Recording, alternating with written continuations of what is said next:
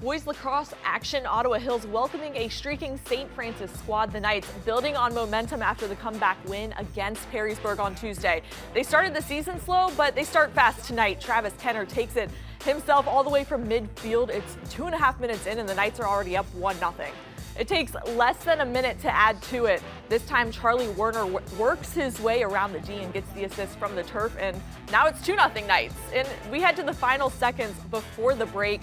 Liam Silk, silky smooth, cuts the Green Bears deficit 5 to 2, but the Knights keep the lead throughout. 8-5 the final, a few insurance goals and big saves from Braden Mattis locking it down.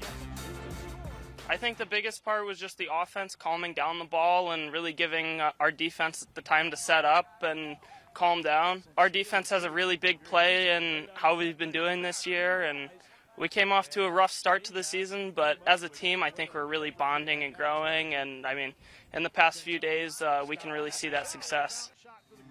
Greg Frankie and Matt Crandall join us once more from Ottawa Hills. St. Francis won the game eight to five over Ottawa Hills, but Ottawa Hills was coming on at the end to try to make a real game of it, but they were stymied early by some great goalkeeping, in particular by the senior Braden Mattis for St. Francis, and I think that was a big factor in the game.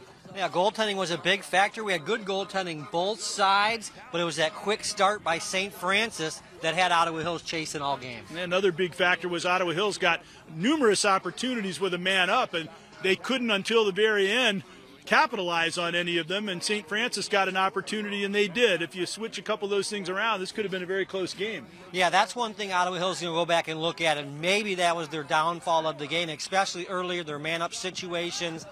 They got some looks that they liked. They just didn't get the goals. Once again, that came back to Mattis the great goaltending for St. Francis.